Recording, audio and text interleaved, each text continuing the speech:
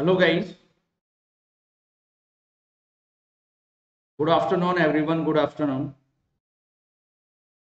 क्या आप सभी के पास वॉइस क्लियर आ रही है क्या? एक बार सभी लोग बता देंगे। क्या आप सभी के पास वॉइस क्लियर आ रही है क्या? जितने भी स्टूडेंट है, एक बार जल्दी से बता दीजिए, क्या आप सभी के पास वॉइस क्लियर आ रही है क्या? सभी लोग बता देंगे भैया। क्या आप सभी के पास वॉइस क्लियर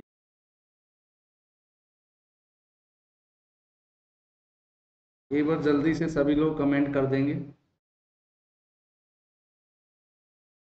ऑल क्लियर है? चलो, बहुत बढ़िया। तो अगर सभी के पास क्लियर है तो सभी लोग वीडियो को लाइक शेयर और गाइड चैनल को सब्सक्राइब कर दीजिए। अगर आप सभी के पास आ रही है तो सभी लोग वीडियो को लाइक शेयर और चैनल को सब्सक्राइब कर दीजिए दोस्तों। सभी लोग वीडियो को लाइक कर देंगे, शेयर कर देंगे और चैनल को सब्सक्राइब कर देंगे। ठीक है दोस्तों, एक मिनट में इसको सही कर लेता हूँ कैमरे को, ताकि अच्छे से पूरा मैं दिख पाऊँ। ठीक है, चल। सभी लोग लाइक, शेयर कर देंगे भैया। ऑल क्लियर है सर क्लास शुरू करिए। चलो ठीक है। तो गाइज़ आप सभी लोग, आपको पता है कि मेरा नाम प्रवीण कुमार है, मैं आपके S S C J and state A का गाइज़ लेजेंड एजुकेटर हूँ। गाइज़ अगर आपके किसी भी फ्रेंड्स को प्लस सब्सक्रिप्शन लेना है तो आप सिविल गुरु रेफरल कोड उन्हें सजेस्ट कर सकते हैं। ठीक है दोस्तों? साथ में गाइज़ मैंने प्लस के ऊपर सोम पढ़ा चुका हूँ। आप लोग वहाँ पर देख सकते हैं। हाइड्रोलॉजी पढ़ा चुका हूँ गाइज़ एफ़ पढ़ा चुका हूँ। आपको बीएमसी पढ़ा चुका हूँ दोस्तों। आपका स्टील हो चुका है गाइज़ साथ में आपका इन्वायरमेंटल इंजीनियरिंग हो चुका है। आपका स्ट्रक्चर एनालिसिस अभी चल रहा है रात को नौ बजे। रात को गाइज़ नौ बजे चल रहा है तो आप जो भी स्टूडेंट स्ट्रक्चर एनालिसिस पढ़ना चाहते हैं, वो पढ़ सकते हैं। ठीक है दोस्तों? अगर गाइज़ आपको एस एस की तैयारी करनी है बिल्कुल बेहतरीन तरीके से, आप चाहते हो कि आपकी तैयारी बिल्कुल बेहतरीन तरीके से हो तो गाइज़ अन अकेडमी पर गाइज़ 14 जुलाई से एक बैच स्टार्ट हुआ है एस एस के लिए। तो आप इस बैच को ज्वाइन कर सकते हो, आप लोगों का कंप्लीट सिलेबस कराया जाएगा। ठीक है दोस्तों? तो यहाँ पर गाइज़ आप प्लस सब्सक्रिप्शन लेकर इसको ज्वाइन कर सकते हैं। एक बड़ी बात यह कि आप लोगों के लिए 21 जुलाई से एक बैच और स्टार्ट किया जा रहा है। आप उसको भी ज्वाइन कर सकते हैं प्लस सब्सक्रिप्शन लेकर। ठीक है दोस्तों? प्लस सब्सक्रिप्शन लेकर आप उसे भी ज्वाइन कर सकते हैं। प्राइस क्या है गाइज़ अगर आप एक साल का सब्सक्रिप्शन लेते हैं तो अभी ऑफ़र चल रहा है इकतीस तारीख तक। आपको नौ हज़ार छह सौ पचास रुपए का पड़ेगा। दो साल का ग्यारह हज़ार नौ सौ रुपए का, पर यहाँ पर आपको डिस्काउंट मिल जाएगा सिविल गुरु कोड लगाने पर। सिविल गुरु कोड लगाना, आपको डिस्काउंट मिल जाएगा भैया। ठीक है, और आप अपने कॉइन्स भी अप्लाई करना तो मैक्सिमम टेन परसेंट डिस्काउंट उससे मिल जाएगा। ठीक है दोस्तों, ये आपको मैक्सिमम डिस्काउंट मिल जाएगा। ठीक है तो गाइस ये मैंने आप लोगों को बता दिया है। ठीक है, आगे बढ़े गाइस अब देखो, हमारी एक सीरीज़ चल रही थी गाइज़ आप लोगों ने देखा होगा। हमने एक सीरीज़ चला रखी है एस एस सी जे के एमसीक्यू की राइट तो हमने कहाँ तक कर लिया था? एक सेकेंड हमने कहाँ तक कर लिया था? ओके ओके एक मिनट, इसको कट करने दो। हमने यहाँ तक कर दिया था राइट तो हमने यहाँ तक कर चुके थे गाइज़ तो सबसे पहले हमने ऑलरेडी यहाँ तक कर लिया था। तो गाइज़ हम एस एस का जो पेपर है 2018 वाला, वो सॉल्व कर रहे हैं बिल्कुल डिटेल में। तो एस एस सी जेई दो का गाइज़ इसका कुछ क्वेश्चन 50 प्लस सवाल यस्टरडे हो चुके इसके पार्ट वन में। आगे के सवाल आज करेंगे। ठीक है, बिल्कुल डिटेल में करेंगे। तो गाइज़ पहला सवाल आप लोगों की स्क्रीन के सामने, सभी लोग इसका जवाब देंगे। और सभी लोग वीडियो को लाइक शेयर ज़रूर कर दो भाई। सभी लोग वीडियो को लाइक शेयर कर देंगे। आराम से सवाल को पढ़ेंगे, फिर जवाब देंगे। आराम से सवाल को पढ़ें और फिर जवाब दें। ठीक है, और सभी लोग शेयर करते हैं तो ये कह रहा है कि which of the following is a reason of negative error in chaining ये कह रहा है कि नेगेटिव एरर इन चेनिंग की बात हो रही है। तो गाइस सैगिंग इन चैन आगे लिखा है guys sagging in chain guys आगे लिखा है chaining chain not being straight rise in temperature तो गाइस मैं आपको बताता हूँ करेक्शन फॉर टेम्परेचर अगर गाइस आप करेक्शन टेम्परेचर करेक्शन की बात करें तो फॉर्मूला होता है अल्फ़ा टी एम माइनस में टी नोट इंटू एल ये गाइस क्या होता है? करेक्शन होता है किसका गाइस टेम्परेचर की वजह से। पर मेरी बात ध्यान सुनिए। अगर यहाँ पर टी एम की वैल्यू ग्रेटर देन हो जाती है टी नोट से, अगर गाइज़ टी एम की वैल्यू ग्रेटर देन हो जाती है टी नोट से तो गाइज़ आपका करेक्शन क्या पॉजिटिव आएगा? करेक्शन आपका पॉजिटिव आएगा। करेक्शन आपका क्या आएगा गाइज़ पॉजिटिव पर यहाँ पर क्या पूछ रहा है? आपसे नेगेटिव एरर पूछ रहा है। अगर करेक्शन पॉजिटिव है तो सभी लोग बताएँगे एरर क्या होगा? नेगेटिव होगा। तो एरर क्या होगा गाइस नेगेटिव होगा। क्लियर गाइस तो अगर राइज करेगा टेम्परेचर अगर टेम्परेचर राइज करेगा तो गाइस क्या होगा? सभी लोग बताएँगे। अगर राइज करेगा टेम्परेचर तो क्या होगा गाइस आराम से कर सकते हो। तो आपका क्या होगा गाइस ये वाला चेंज हो जाएगा नेगेटिव एरर इन चेंजिंग अगर गाइस आपका टी नोट ग्रेटर देन हो गया टी टी एन तो क्या हो जाएगा? करेक्शन क्या हो जाएगा गाइस नेगेटिव बट एरर क्या हो जाएगी गाइस पॉजिटिव क्लियर ये मैं आप लोगों को बता चुका हूँ। ठीक है गाइस ये आप लोगों को बता चुका हूँ। अच्छा चैन सभी लोग बताएँगे सह करेक्शन हमेशा क्या होता है? तो गाइस सह करेक्शन हमेशा क्या होता है? गाइस ये मुझे बताने की ज़रूरत नहीं है। सह करेक्शन हमेशा क्या होता है? गाइस नेगेटिव होता है। सह करेक्शन हमेशा नेगेटिव होता है तो एरर क्या होगा गाइस पॉजिटिव तो एरर क्या होगा गाइस पॉजिटिव तो पहला ऑप्शन तो ऐसे ही कट गया अब गाइज़ आपकी बात कर सकते हो गाइज़ ये सारी चीज़ मैंने आप लोगों को बता दी। मिस अलाइनमेंट का उससे क्या होगा? गाइस करेक्शन ऑलवेज नेगेटिव होता है और उसका एरर क्या होगा? पॉजिटिव क्लियर अगला सवाल करेंगे। सभी लोग इसका आंसर देंगे। सभी लोग इसका आंसर देंगे गाइस सभी लोग इसका आंसर देंगे। अगर आप लोगों को अच्छा लगे सेशन तो सभी लोग लाइक कर देंगे। Limit of water content limit of water content H with soil tends to pass from semi solid state to solid state guys बिल्कुल आसान सवाल है। आप लोगों ने पढ़ा होगा गाइस आराम से। श्रिंकेज लिमिट क्या होती है? वो मिनिमम वाटर कंटेंट जिसके ऊपर सोइल क्या होती है? फुली सेचुरेटेड तो ये गाइस श्रिंकेज लिमिट है। और उसके बाद गाइज़ आपका क्या आता है? प्लास्टिक लिमिट उसके बाद गाइज़ आपका क्या आता है? लिक्विड लिमिट और ये वाला क्या कहलाता है गाइज़ सॉलिड स्टेट होता है। फिर आता है गाइज़ सेमी सॉलिड आता है। क्लियर तो ये कह रहा है कि सॉलिड और सेमी सॉलिड के बीच का।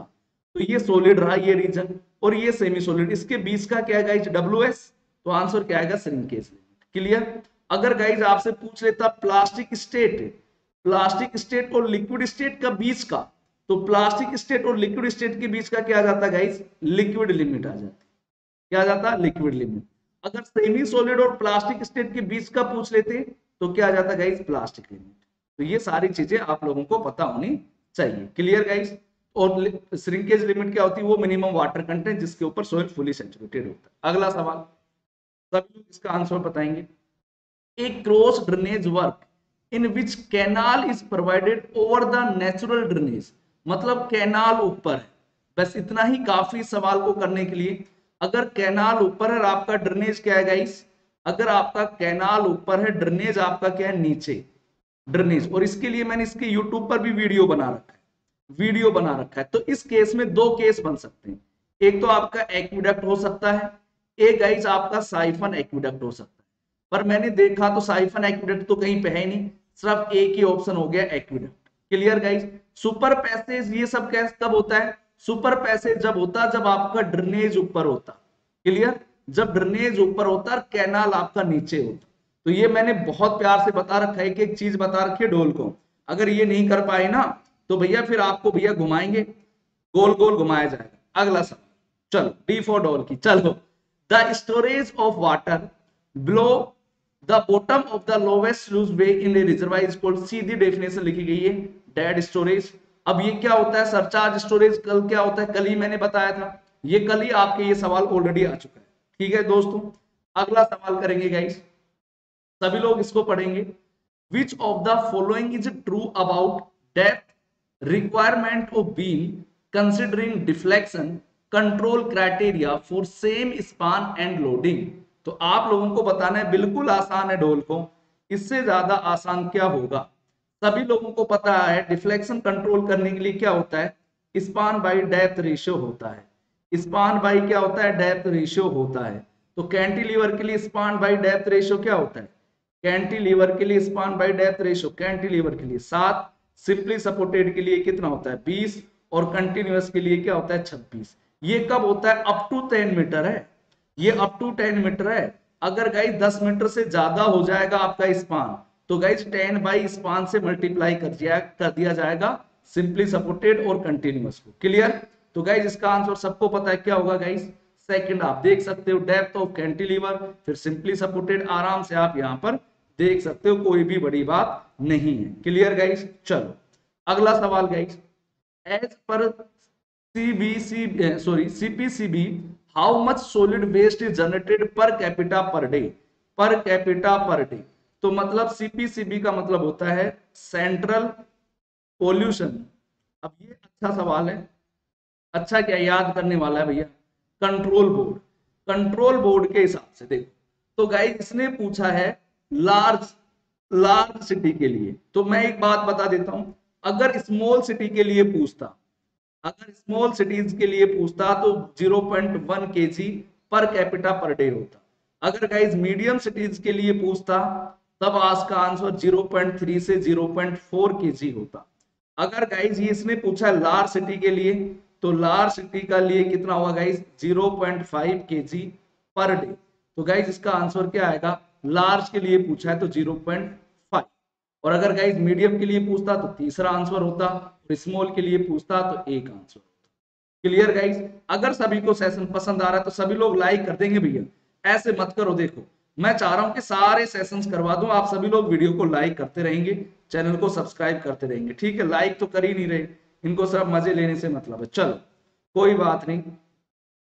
आगे चलते हैं गाइस देखो red light is use as a signal for stop it is visible from greater distance than other colour because of ढोल को ये खुद बताओ रे। जल्दी से इसका जवाब खुद देंगे। सभी लोग इसका जवाब देंगे। लाल प्रकाश का उपयोग रोकने के लिए सिग्नल के रूप में किया जाता है क्योंकि यह क्या होता है इसका? सभी दीदियाँ भी बताएँगी क्योंकि स्कूटी वो भी चलाती हैं।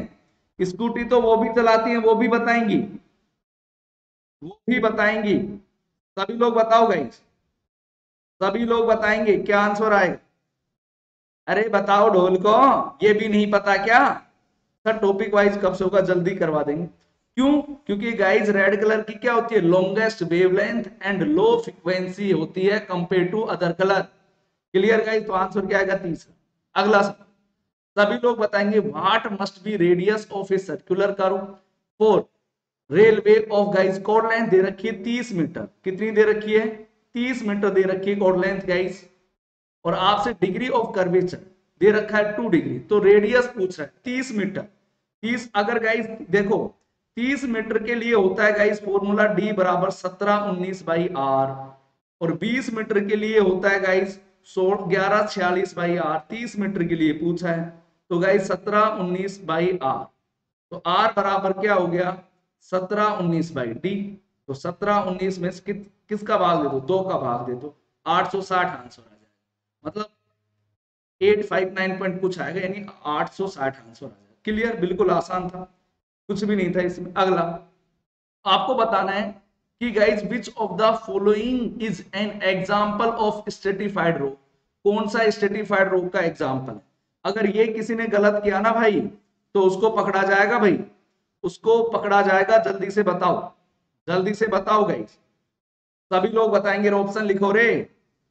जल्दी से लिखो गाइज़ ढंग से लिखा करो ना कि गुरुजी ये आंसर लिखा करो ना। आंसर लिखने में शर्म आता है क्या? लिखते नहीं है तो आंसर क्या आएगा सेडिमेंट्री रोग गाइस सेडिमेंट्री रोग का क्या क्या नाम? इस सेडिमेंट्री रोग तो चलो यहाँ पर दे दिया बड़े प्यार से। अब सेडिमेंट्री रोग को गाइस इसके एक्वस रोग भी इसे बोलते हैं। ये मैं ऑलरेडी बता चुका हूँ। एक्वस रोग भी है गाइस स्टेटिफाइड भी। जैसे इसके एग्ज़ाम्पल क्या हो गए? लाइम स्टोन हो गए, आपके सैंड स्टोन हो गए, ये सब। गाइस मेटामोर्फिक रोग के एग्ज़ाम्पल क्या हो गए जैसे मार्बल हो गया, ये सब इसके एग्ज़ाम्पल क्लियर उसके बाद गाइज़ इग्नियस रोग के सबको पता है। इग्नियस रोग के क्या एग्ज़ाम्पल हैं गाइज़ आप, इसको अनस्टेटिफाइड होता है इग्नियस रोग तो। क्लियर इसके एग्ज़ाम्पल सबको पता है। ग्रेनाइट बसाल ट्रैप ये सब इसके एग्ज़ाम्पल होते हैं। क्लियर अगला सवाल। बहुत प्यारा सवाल है और हमेशा एग्ज़ाम में आता है और 2018 में फिर से आया। मैं चाहूँगा सभी लोग इसका एग्ज़ाम आंसर दें। ये कह रहा है कि फोर कॉलम है। आइडेंटिकल है उनके all parameter except condition condition को छोड़कर सारी चीज़ें क्या है गाइस आइडेंटिकल है सेम अरेंज करना है उनकी guys ascending order guys ascending order load carrying capacity जब भी आपको कॉलम में ये सवाल देखने को मिले कि किसकी लोड कैरिंग कैपेसिटी ज़्यादा होगी, किसकी कम होगी, सबसे पहले आप उनकी कंडीशन लिख लो। मतलब उनका एल इफ़ेक्टिव लिख लो। जब आपसे पूछे बोथ एंड आर हिंज जैसे ही बोला तो इसका एल इफ़ेक्टिव कितना होता है guys both end are hinge का एल इफ़ेक्टिव होता है। Both end are fix both end are fix का एल इफ़ेक्टिव होता है L by two clear one end fix और अनोदर फ्री तो गाइज़ एल इफ़ेक्टिव होता है इसका टू है।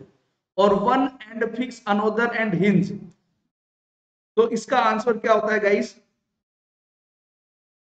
तो गाइस इसका आंसर क्या, इसका होता है L by root two clear अब आपको लोड कैरिंग कैपेसिटी देखनी है। लोड कैरिंग कैपेसिटी का फॉर्मूला होता है pi square E I L effective का स्क्वायर अब मुझे एक बात बताओ, क्या उसी की लोड कैरिंग कैपेसिटी ज़्यादा होगी क्या? जिसका डिनोमिनेटर यानी हर, जिसका हर बड़ा होगा। तो मुझे बात बताओ एल स्क्वायर यहाँ तो एल आएगा। एल बाई टू तो एल बाई टू का स्क्वायर ऊपर क्या चार चला जाएगा? तो सबसे नीचे क्या रहेगा? एल इफ़ेक्टिव टू एल का स्क्वायर नीचे चार। मतलब सबसे कम गाइस किसमें रहेगा? तीसरे वाले में सबसे कम रहेगा। क्या तीसरे वाले में सबसे कम रहेगा? क्योंकि नीचे क्या आएगा? देखो ना pi square E I four L square होगा ना तीसरे वाले में। तो फोर आ गया तो ये संख्या और छोटी हो जाएगी। तीसरे का सबसे कम होगा, एक ही ऑप्शन है। फिर आप ऐसे वैल्यू पुट करके देख सकते हो। इस सवाल में आसानी से हो जाएगा। क्लियर सबका देख लो आप। अब आप अगला देख लो। एल बाई रूट टू अब ये देख लीजिए आराम से। जिसका होना है, अब देखो एल उसके बाद एल हो जाएगा। ये नीचे एल बाई टू और एल बाई रूट टू इनका तो ज़्यादा होगा ना? क्योंकि जब इनका स्क्वायर करोगे तो ये वाली संख्या तो ऊपर चली जाएगी। चार ऊपर चला जाएगा, दो ऊपर चला जाएगा। मेरे हिसाब से ये बात सबको समझ में आ गई होगी। क्लियर इस बात में किसी को भी डाउट नहीं होगा। क्लियर अब देखो गाइस इन्वायरमेंटल इंजीनियरिंग का सवाल है। और ये अर्थमेटिक इंक्रीज मेथड की बात और सुबह ही मैंने प्लस क्लास में आपको इन्वायरमेंटल इंजीनियरिंग का रिविजन भी करवाया था। अब जैसे अर्थमेटिकल इंक्रीज मेथड का नाम आता है ध्यान में सबसे पहले तो आपको ये पता होना चाहिए कि अर्थमेटिक इंक्रीज मेथड किसके लिए किया जाता है? ओल्ड सिटी के लिए किया जाता है। ये भी आपसे पूछा जाता है। और इसका फॉर्मूला कुछ नहीं होता गाइस बिल्कुल आसान है। बिल्कुल आसान है। पी एन बराबर क्या होता है? पी नोट प्लस में एन एक्स बार। अब आपसे पूछा है 2011 और 1981 की लास्ट दे रखी है। तो इक्यासी से 11 20 साल हो गए क्या? अरे इक्यानवे नहीं नहीं, कितने साल हो गए? तीन साल हो गए क्या? तीस साल। तीस साल का मतलब क्या है guys three decades three decades यानी एन बराबर तीन। तो पी नोट कितना होगा? लास्ट वाली। जो लास्ट का होता है, एक लाख अट्ठाईस हज़ार प्लस तीन। एक्स बार क्या होगा गाइस इनका डिफरेंस निकालो और फिर उसमें क्या कर दो गाइस भाग दे दो तीन का। तो इसमें इक्यावन और इकसठ में डिफरेंस कितने का है? नौ हज़ार का। और गाइस इसमें इसमें कितने का डिफरेंस है? सात हज़ार का। और इसमें इसमें कितने का डिफरेंस है? बारह हज़ार का। और भाग दे दो गाइस कितने का भाई? तीन का। भाग दे दीजिए, तीन का। सोल्व कर लो आंसर आ जाएगा एक लाख छप्पन हज़ार। इससे ज़्यादा आसान सवाल और क्या हो? क्लियर गाइज़ आगे चलू। अगला सवाल क्या है? ये मैंने अभी आप लोगों को एक दिन दो बजे वाले क्विज में करवाया था। और मैंने पूछा भी था भैया। तो बताएँगे गाइज़ प्लाईवुड के लिए कौन सी चीज़ सही लिखी गई है? प्लाईवुड के लिए कौन सी चीज़ लिखी गई है? तो मैंने वहाँ पे आपसे आंसर पूछा था, उसका आंसर तीन आ रहा था। तो इसका दूसरा, तीसरा सेकंड लिखा गया, सही लिखा गया है। थ्री और more winners in odd number किसमें गाइस ओड नंबर थ्री कम से कम तीन और उससे ज़्यादा। क्लियर समझ में आ गया? Are place on above the other with the direction of grains of successive layers at right angle to each other तो ये नहीं दिख रहा क्या? इसका आंसर भी आ गया। ये तो मैंने पूछा भी तो था आप लोगों से मिनिमम कितना होना चाहिए? तो आप लोगों ने ऑलरेडी बताया था कि विषम संख्या में तीन या अधिक विनर्स को एक के मतलब को एक के ऊपर एक रखा जाता है। ठीक है गाइस ये तो मैंने ऑलरेडी आप लोगों को पूछा था। अगला सवाल guys keeping other parameters unchanged for a compressive member in steel, which buckling class section carries maximum axial compression stress? ये गाइज़ आपसे स्टील का सवाल है। और स्टील का आईएस की टेबल से सवाल है। आपने पढ़ा होगा guys A B C D इनके लिए वैल्यू भी पूछी जाती तो आंसर आएगा इसका ही।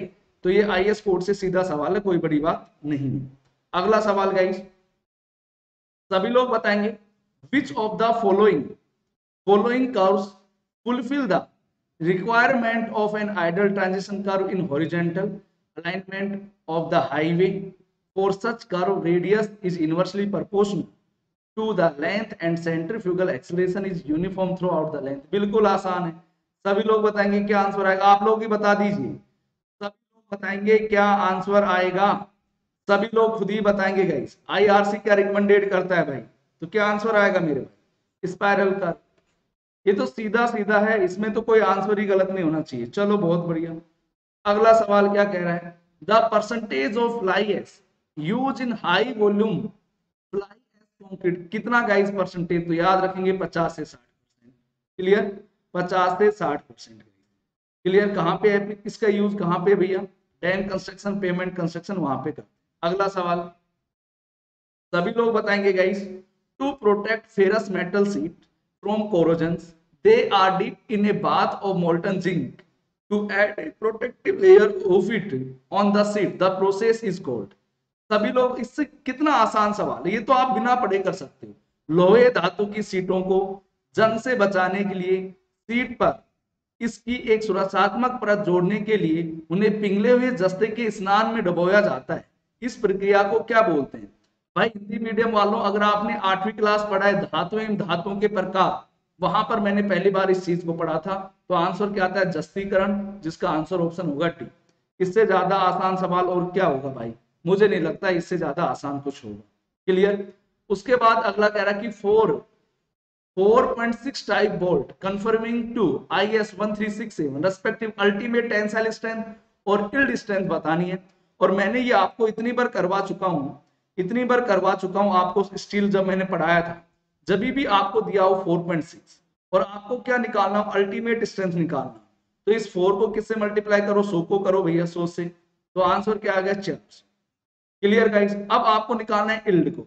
तो वो क्या होता है? 0.6 point six into ultimate strength तो 0.6 अल्टीमेट कितना आ गया? 400 इससे मल्टीप्लाई कर दीजिए, क्योंकि 0.6 है ना तो 240 तो आंसर क्या आ गया? 400 और 240 ए आंसर दोबारा से पूछ लो, कभी भी दिया हो 4.6 कुछ नहीं करना है, इस 4 को 100 से गुणा लिखो गुणा करना है, और इल्ड स्ट्रेंथ निकालना है, वो क्या करोगे? 0.6 पॉइंट सिक्स इंटू अल्टीमेट कर दो। क्लियर चलो। सभी को समझ में आ रहा है क्या भाई, अगला सवाल करेंगे। सभी लोग बताएँगे how much water is added cement mortar to determine compressive strength of cement? अगर आपको कंप्रेसिव स्ट्रेंथ निकालनी है सीमेंट की तो कितना वाटर ऐड करोगे? ये सवाल आपसे पूछा जा रहा है। बताओ कितना वाटर ऐड करोगे? अगर सीमेंट की कंप्रेसिव स्ट्रेंथ निकालनी है तो कितना वाटर ऐड करोगे? जब भी आपको दिखे तो P by four plus three percent तो इसका तो ए ऑप्शन आ जाएगा। और गाइज़ अगर आपसे सेटिंग निकलवा रहा है initial setting time at five P और अगर गाइस आपसे साउंडनेस टेस्ट करवा रहा है तो ज़ीरो पॉइंट अठहत्तर पी क्लियर गाइस और सभी लोग मुझे एक बात बताओ, अगर टेंसाइल होता तो टेंसाइल के केस में कितना होता, सभी लोग बताएँगे। टेंसाइल का सभी लोग कमेंट करके मुझे बताओ टेंसाइल के केस में कितना वाटर ऐड करते। सभी लोग सभी लोग मुझे बताएँगे टेंसाइल के केस में कितना वाटर ऐड करते। टेंसाइल के केस में कितना वाटर आप लोग ऐड करते, मुझे ये अभी आंसर मिलेगा, तभी मैं आगे बढ़ाऊँगा तभी मैं आगे बढ़ाऊँगा टेंसाइल के केस में। ये तो कंप्रेसिव के केस में P by four plus three कर दिया, मुझे टेंसाइल के केस में बताओ तो मैं आगे चलता हूँ। डोल को तुम्हें ये नहीं पता टेन टेंसाइल के केस में कितना करेंगे। बिल्कुल पी बाई अब सही, काफ़ी लोगों ने सही लिखा है। किंग यादा और इन सबने लिखा है कुछ। चल। अब गाइस सभी लोग बताएँगे the maximum area of tension reinforcement in a rectangular beam shall not be maximum area तो गाइस सबको पता है four percent B D four percent B D guys और ये याद रखना कैपिटल डी है ये। ये कैपिटल डी है स्मॉल डी मत कर देना वहाँ पे। ये कैपिटल डी है, ध्यान से रखना, अगर दूसरा ऑप्शन बना देता है यहाँ पे। छोटा डी कर देता तो वो नहीं होता कैपिटल डी ओवरऑल ठीक है गाइस ग्रोस एरिया लेते हैं। और गाइस मिनिमम कितना प्रोवाइड किया जाता है? मिनिमम एरिया कितना होता है? A S T by B D क्योंकि इसने मैक्सिमम पूछा है। मिनिमम पूछता था ये आंसर हो जाता। मिनिमम पूछता था ये आंसर हो जाता। तो चीज़ें ध्यान से पता होनी चाहिए। क्लियर चलो, अगला सवाल गई अगर आपसे फोर बेरिंग ऑफ़ लाइन पता है फोर बेरिंग क्या है? चालीस डिग्री पंद्रह मिनट। तो आप मुझे बताओ fore bearing of B A line बताओ। बी ए लाइन की फोर बेरिंग बतानी है। ढोल को बी ए लाइन की फोर बेरिंग बता दो। सभी लोग बताओ बताओ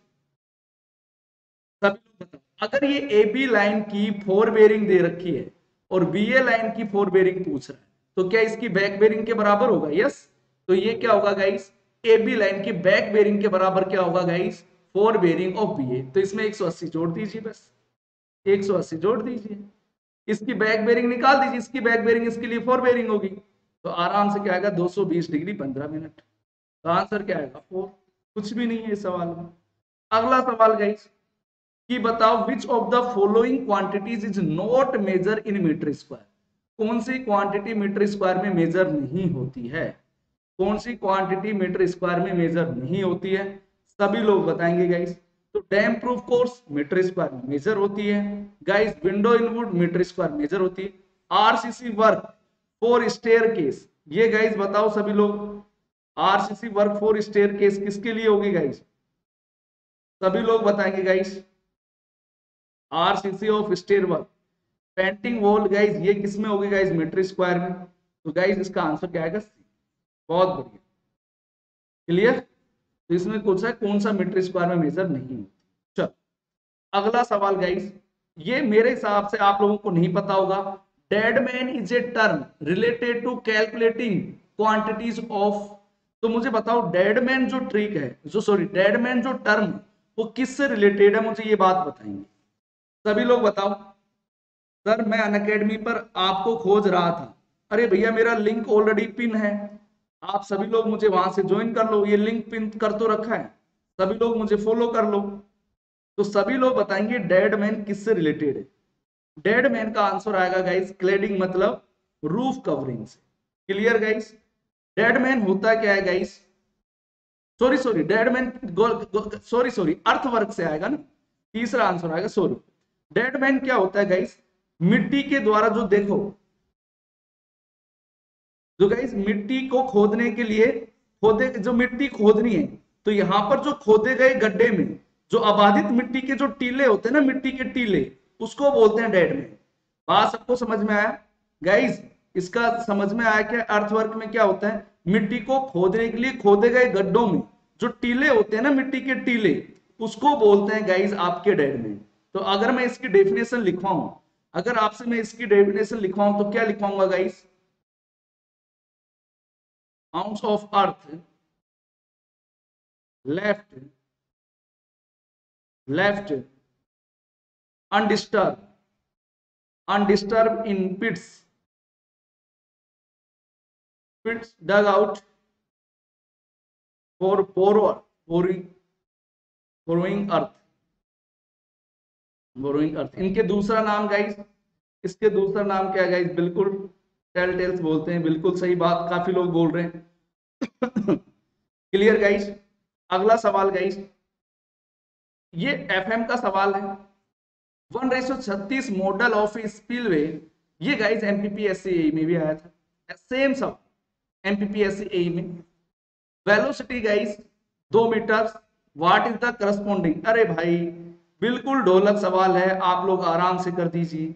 एल आर दे रखा है वन बाई छत्तीस वी एम दे रखा है आपको दो मीटर पर सेकंड। आपको वेलोसिटी निकालना है, प्रोटोटाइप की, यानी वीपी निकालना है। तो सबको पता है guys V M by VP बराबर क्या हो जाएगा?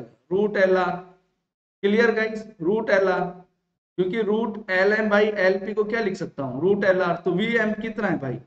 वी एम दो वीपी निकालना है। Root L R one by छत्तीस तो दो बाई वीपी बराबर वन बाई सिक्स। तो वीपी बराबर कितना हो गया भाई? बारह मीटर पर सेकेंड। तो ये तो कोई बड़ी बात नहीं थी, आसान सवाल था ये तो वहाँ पर। आराम से आप लोग वैसे भी कर देते। अगला सवाल। बॉइलिंग ऑफ़ वाटर और adding lime in water will remove the hardness of water अभी डोर को सुबह ही बताया था बॉइलिंग ऑफ़ वाटर से क्या रिमूव करते हैं? अगर ये सवाल नहीं बताया ना तो गए काम से। बॉइलिंग ऑफ़ वाटर और एडिंग लाइम से कौन सी हार्डनेस रिमूव करते हो? ये तो बता दो, महाकाल नाम है मेरा, और काली का पुजारी हूँ मैं, और दुश्मनों को पहनाने वाला कफन भी काला डायलॉग है ना भाई, किस मूवी का है? चल तो आंसर क्या आएगा? कार्बोनेट ऑफ़ कैल्शियम सभी सुबह तो बताया था बोलिंग ऑफ़ वाटर से क्या गाइज़ आप? टेम्परेरी हार्डनेस रिमूव करते हैं टेम्परेरी हार्डनेस किसकी वजह से होती है? कार्बोनेट और bi calcium carbonate clear guys चलो कार्बोनेट ऑफ़ कैल्शियम चलो चलो चलो। अगला सवाल गाइज़ सभी लोग बताएँगे भैया। सभी लोग बताएँगे बिल्कुल आसान है। When the duration of lease is 99 years तो it is called अगर 99 years है तो इसको क्या बोलेंगे गाइस गाइस 99 है तो इसको क्या बोलेंगे? लॉन्ग टर्म लीज क्लियर सभी लोगों को समझ में आया? अगर 99 है तो उसको क्या बोलेंगे? लॉन्ग टर्म लीज और अगर 999 के लिए होता तो गाइस अगर 999 के लिए होता तो? सभी लोग बताएँगे, गाइस 999 के लिए होता तो इसको क्या बोलते, गाइस? तो एंडलेस ड्यूरेशन होती है। एंडलेस ड्यूरेशन होती। क्लियर अगला सवाल, guys. Maximum super elevation table से सवाल है। On hill road should out not exceed hill road के लिए पूछ रहा है तो आंसर क्या आएगा गाइस? दस।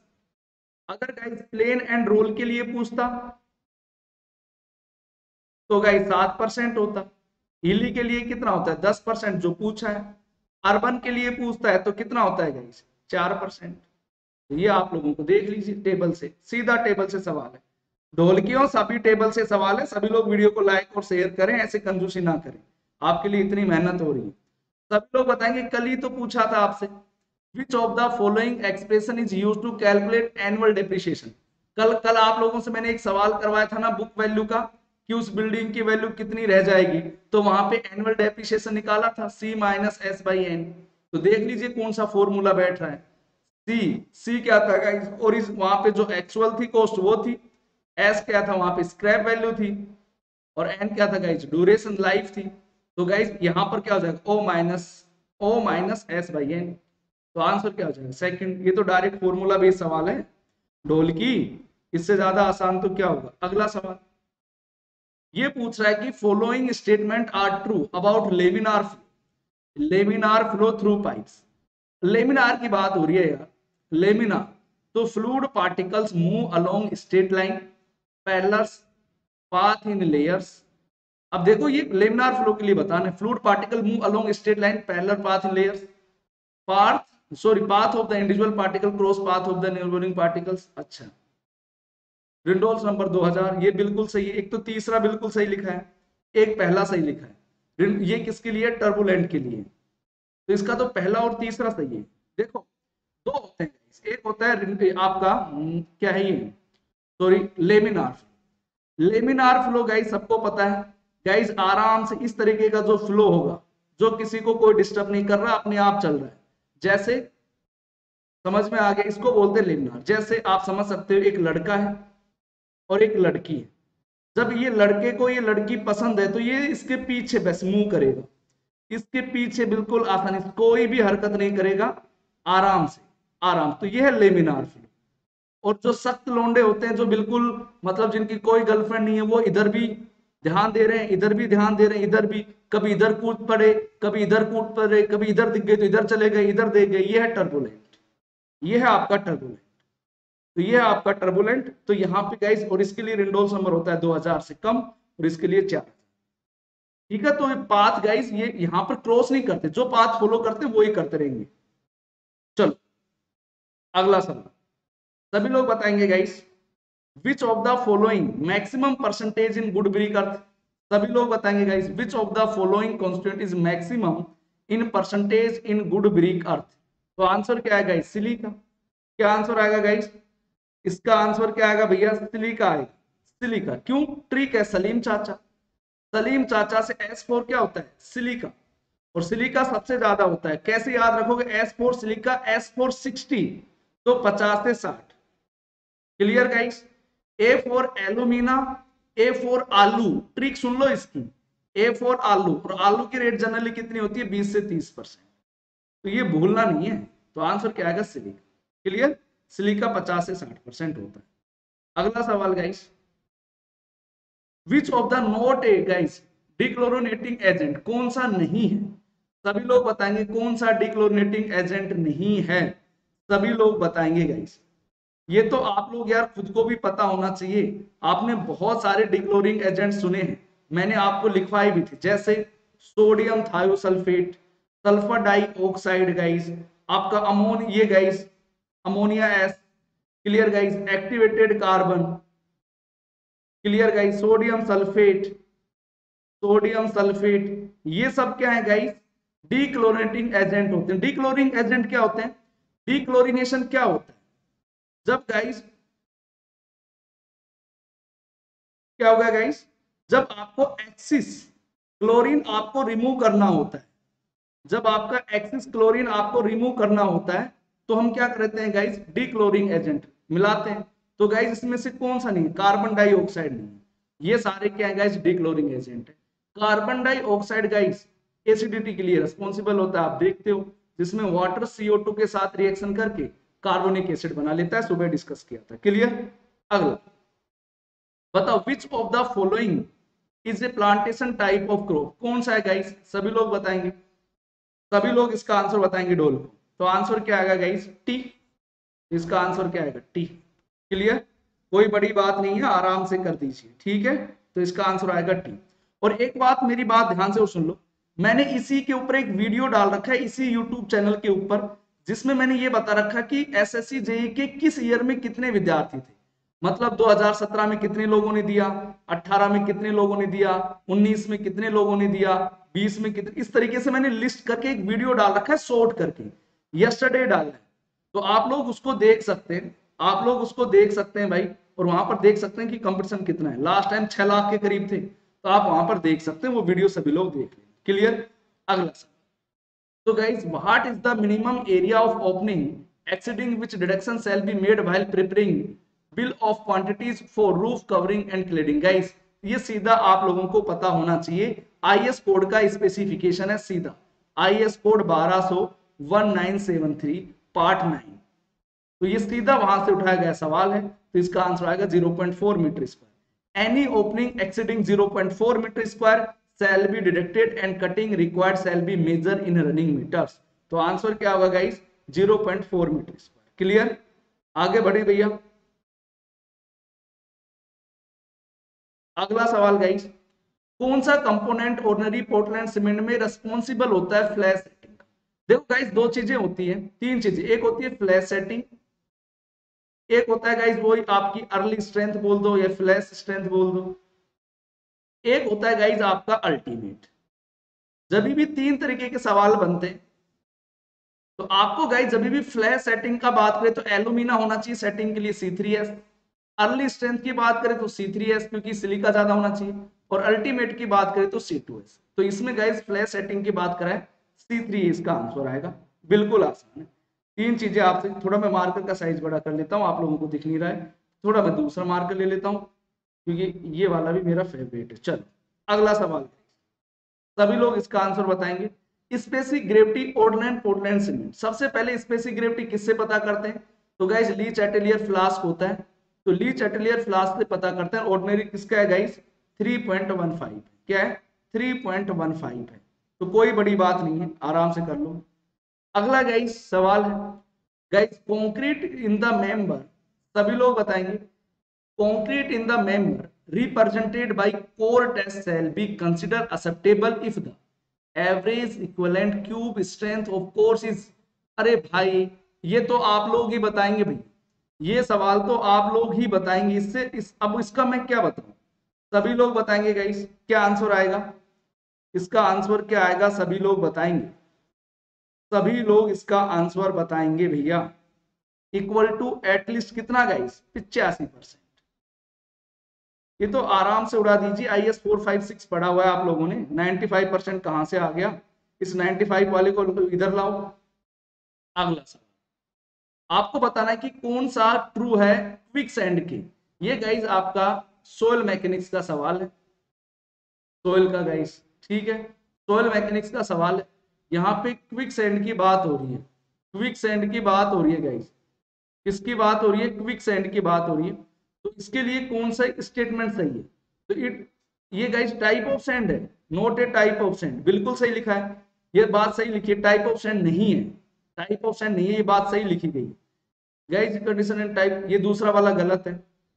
अच्छा quick sand condition reaches when critical hydraulic gradient approx equal to unity बिल्कुल सही लिखा है ये बात। ये गाइस इसमें किसी को कोई लोचा? उसके बाद अगला लिखा है guys quick sand condition occur more commonly coarse grain soil तो सभी लोग बताएँगे कहाँ पर होता है गाइस सभी लोग बताएँगे गाइस तो यहाँ पर कौन कौन से स्टेटमेंट सही है? एक तो पहला सही है।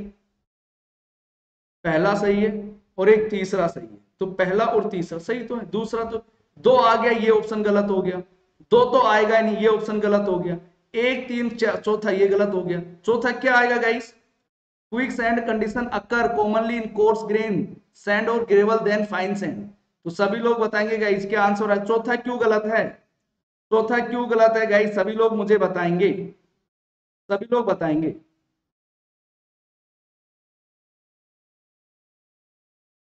सभी लोग बताएँगे फोर्थ वाला क्यों गलत है? काफ़ी लोग सही आंसर दे रहे हैं भाई। काफ़ी लोग तो बिल्कुल ही मतलब सटीक आंसर दे रहे हैं। इसको गाइस बॉइलिंग कंडीशन भी बोलते हैं, कोई बड़ी बात नहीं ठीक है गाइस चले आगे। अब सर ये तीसरा वाला सही कैसे है? तीसरा वाला बिल्कुल सही है गाइस आईसीआर बराबर क्या होता है? G minus one one plus sir one कैसे हो गया? तो जी की वैल्यू रखो two point six five minus one one plus e की वैल्यू रखो ज़ीरो पॉइंट पैंसठ, इसको सोल्व कर लो, वन आ जाएगा। इसलिए आपका तीसरा वाला सही है। इसने लिखा है ना, देखो अप्रोक्सीमेट इक्वल टू यूनिटी तो यूनिटी आ तो गया hydraulic rate NCR equal to one ये आ तो गया गाइस आप लोगों क्लियर चल, आगे चले भैया। सभी लोग बताएँगे a certain fix amount from the gross gross rent और इनकम इज़ सेट सभी लोग बताएँगे, सीधी डेफिनेशन लिखी गई है। सभी लोग बताएँगे गाइस सीधी डेफिनेशन लिखी गई है। मैं चाहूँगा सभी लोग इसका आंसर बताएँ। सभी लोग इसका आंसर बताएँ भैया। सीधी डेफिनेशन लिखी गई है। एक मिनट मैं सबके कमेंट भी रीड कर लेता हूँ यहाँ पर। एक मिनट में सबके कमेंट भी रीड करूँगा। क्या कमेंट कर रहे हो? आप लोग कुछ कर भी रहे हो या ऐसे ही? सभी लोग बताएँगे इसका क्या आंसर आएगा। सभी लोग बताएँगे गाइस बिल्कुल बिल्कुल, नरेंद्र जी, यहाँ पे देखो तो आंसर क्या आएगा? सिंकिंग फंड सिंकिंग फंड क्या होता है गाइस किसी प्रॉपर्टी की संपूर्ण लाइफ के दौरान एनुअली हाफ़ ईयरली जमा किया फंड क्या किया गया गाइस जमा किया गया फंड जिसका उपयोग आपको क्या करना है गाइस स्ट्रक्चर की लाइफ समाप्त हो जाने के बाद उसे दोबारा बनाने के लिए किया जाना हो, उस फंड को सिंकिंग फंड कहते हैं। दोबारा से बता देता हूँ सिंकिंग फंड क्या कहते हैं, आप लोगों का मैं कमेंट भी रीड कर रहा हूँ। गाइज़ कोई भी प्रॉपर्टी है, उसकी होल लाइफ के दौरान आपने या एनुअली या ईयरली आपने कुछ फंड जमा किया। अब आप उसकी लाइफ खत्म होगी और अब उस फंड को, उसी को दोबारा बनाने में आप यूज़ में ले रहे हो, उसी को बोलते हैं सिंकिंग फंड जैसे ये गाइज़ आपका कोई हॉस्टल है। हॉस्टल की गाइज़ उम्र है चालीस साल। अब आपने इसको किराए पे दे रखा है। तो आपने क्या किया? कुछ ना कुछ ईयरली आपने मान लो दस लाख रुपए मतलब पाँच लाख रुपए बचा लिए। पाँच लाख रुपए जमा कर लिए। चालीस साल बाद क्या करा? आपने जो भी तो गई चालीस चालीस साल में जितना भी जमा हुआ, वापिस आपने इस हॉस्टल को दोबारा बनाने में लगा दिया। उसको बोलते हैं उस फंड को, जो आपने बचा के रखा है।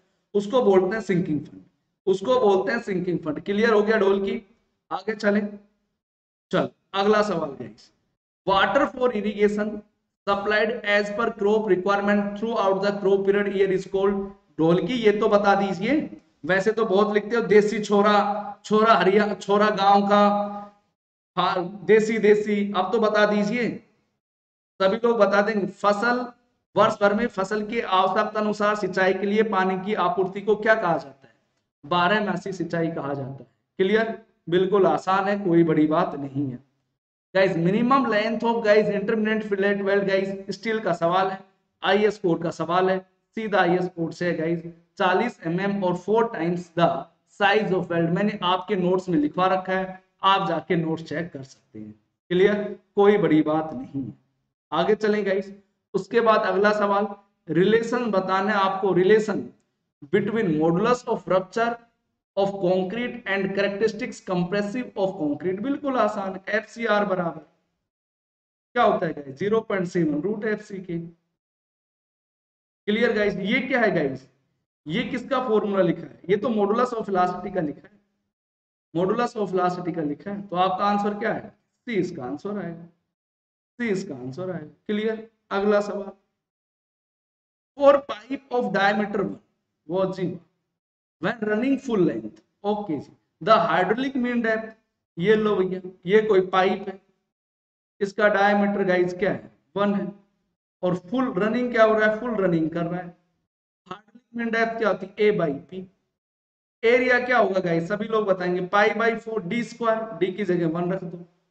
और गाइस इसका क्या होगा गाइस सभी लोग बताएँगे गाइस सभी लोग बताएँगे गाइस वेटेड पेरीमीटर कितनी होगी guys two pi R two pi R यानी पाई डी अरे टू पाई आर को पाई डी लिख सकता हूँ ना, यानी पाई और डी की जगह क्या रख दो? वन। तो यहाँ से कट गया गाइस तो पाई से मैं कर रहा हूँ पाई तो ए बाई पी बराबर आ गया one by one by four का मतलब ज़ीरो पॉइंट पच्चीस। ज़ीरो पॉइंट पच्चीस इसका आंसर है। ठीक है? एक रुपए की पेप्सी सोनू सागर ढोल की। ये ढोल की। पढ़ ले पढ़ ले। फिर नाचे नागिन गली गली। फिर वो देखा नहीं है क्या शादी में? ये घोड़े वाला है और वो नाचते रहते हैं और जैसे दस का नोट आएगा, ऐसे झड़पेगा नहीं पड़ेगा तो। ये दस का नोट मिल जाए, ये बीस का नोट मिल जाए। पढ़ ले पढ़ ले। ढोलक, डमरू सब बना देंगे फिर। फिर वो नाचते रहना, नाचे नागिन गली गली। आपका कौन सा फॉलोइंग गाइस ट्रू है? ट्रू कौन सा लिखा है गाइस तो ट्रू सेकंड लिखा गया है। आप देख सकते हैं cylinder section shall not be use as a compression member use नहीं करते क्लियर अगला सवाल guys what must be the height of cylindrical sample for split tensile strength test stone the diameter यार, ये तो सभी लोग बताएँगे भाई। सभी लोग बताएँगे गाइस कि what must be the height of cylinder sample for split tensile strength test of stone if the diameter कितना दे रखा है? 50 एम mm.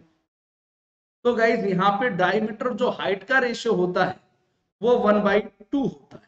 तो गाइज़ अगर वन बाई टू है तो ये कितना है? पचास और हाइट बराबर वन बाई टू। तो हाइट बराबर कितना आ जाएगा? सौ एम एम क्लियर गाइज़ तो आंसर क्या आएगा सौ? क्योंकि डायमीटर टू हाइट रेशियो क्या होता है भाई? वन बाई टू होता है। अगला सवाल। गाइज़ कौन सा इनमें कोगुलेंट नहीं है? कोगुलेंट क्या होता है गाइज़ कोगुलेंट क्या होता है? जब आप पीएसटी में आपके जब सस्पेंडेड पार्टिकल सेट हो जाते हैं तो आपके जो डिजोल्व सॉलिड्स हैं, वो बच जाते हैं। मतलब छोटे छोटे पार्टिकल बच जाते हैं। उनको सेट कराने के लिए कोगुलेंट डालते हैं। कोगुलेंट क्या? एक केमिकल है। कोगुलेंट डालते हैं। ये कोगुलेंट जैसे एलम हो गया। ये क्या करता है? वहाँ जाके स्टिकी कंपाउंड बनाता है। और फिर वहाँ पे क्या बनता है? फ्लोक बनता है। और वो फ्लोक नीचे सेटल हो जाता है। तो गाइस कोगुलेंट कौन सा नहीं है? तो कोगुलेंट कौन सा क्या? सोडियम सल्फेट कोगुलेंट नहीं है। बाकी सारे। तुम्हें तो नाम बताए थे भैया। सोडियम सल्फेट कोगुलेंट नहीं है। अच्छा मुझे बताओ ऑप्टिमम डोज निकालने के लिए, कोगुलेंट की ऑप्टिमम डोज निकालने के लिए कौन सा टेस्ट करते हैं? जार टेस्ट करते हैं। ये आपसे पूछा जा सकता है ऑप्टिमम तो ऑप्टिमम डोज ऑफ़ कोगुलेंट क्या होता है? वो मिनिमम क्वांटिटी कोगुलेंट की, जिस पर वो मैक्सिमम फ्लोक बनाए। उसको बोलते हैं guys optimum dose of coagulant jar test कितने सैंपल होते हैं वो? सॉरी कितने वो होते हैं वो बताएँगे जल्दी से। अगला in India yellow and white colour on a milestone indicate क्या इंडिकेट करता है भाई? सभी लोग बताएँगे yellow and white colour yellow and white colour national highway clear guys ये बात सबको समझ में आ गया। स्टेट हाईवे के लिए कौन सा है guys green and white strip okay भैया। आपके गाइस मेजर डिस्ट्रिक्ट रोड के लिए मेजर डिस्ट्रिक्ट रोड के लिए गाइस कौन सा है? ऑरेंज मेजर डिस्ट्रिक्ट के लिए ग्रीन होगा ना? मेजर के लिए तो ब्लू सॉरी ब्लू और ब्लैक एंड वाइट और गाइस रूरल रोड या विलेज के लिए गाइस ऑरेंज ओ ऑरेंज की O R A N G E orange and white सबका मैंने लिखवा दिया। तो रूरल के लिए गाइस रूरल के लिए ऑरेंज एंड वाइट स्टेट के लिए ग्रीन एंड वाइट मेजर के लिए ब्लू और ब्लैक एंड व्हाइट। तो मैंने ये आपको बता दिया। क्लियर? अगला सवाल guys not correct about the compaction of soil कि बताओ कौन सा सही है कॉम्पेक्शन के लिए? कॉम्पेक्शन का मतलब क्या होता है गाइस एयर वॉइड्स का रिमूव करना। अगर जब आप एयर वॉइड्स को रिमूव करोगे तो सभी लोग मुझे बात बताओ। अगर आप एयर वॉइड्स को रिमूव करोगे तो सभी लोग बताएँगे आपकी परमेबिलिटी घटेगी या बढ़ेगी? तो परमेबिलिटी घटेगी ना, क्योंकि वॉइड्स कम हो गए चीज़ डेंस बन रही है। तो आपकी क्या होगी? Compaction increase the permeability of soil नहीं डिक्रीज क्योंकि वॉइड्स कम हुए हैं। वॉइड्स कम हुए तो परमेबिलिटी क्या होगी? डिक्रीज होगी। तो ये गलत लिखा ये गलत लिखा हुआ है और गलत ही पूछा तो इसका आंसर क्या आएगा? सही। क्या ये बात सबको समझ में आई क्या? सभी लोग बताओ, क्या आपको ये सवाल समझ में आया क्या? सभी लोग बताएँगे, आपको ये चीज़ समझ में आई या नहीं आई, सभी लोग बताएँगे। तो कॉम्पैक्शन से क्या होगा गाइस आप लोगों की क्या हो जाएगी गाइस अच्छा पोरोसिटी पोरोसिटी भी डिक्रीज होती गाइस अगर, क्योंकि एयर वॉइड्स यानी वॉइड्स कम हो रहे हैं ना, जब एयर वॉइड्स रिमूव कम हो रहे हैं तो गाइस परमिलिटी तो कम होगी गाइस पोरोसिटी भी कम होगी। क्लियर गाइस ये मैंने आप लोगों को बता दिया, ये पीडीएफ मैंने खत्म कर इसी तरीके से गाइस कल बताओ आप लोगों को हम यूट्यूब पर क्लास कल इसी तरीके से अब हम दो, ये तो 2018 की एक शिफ्ट का पेपर था।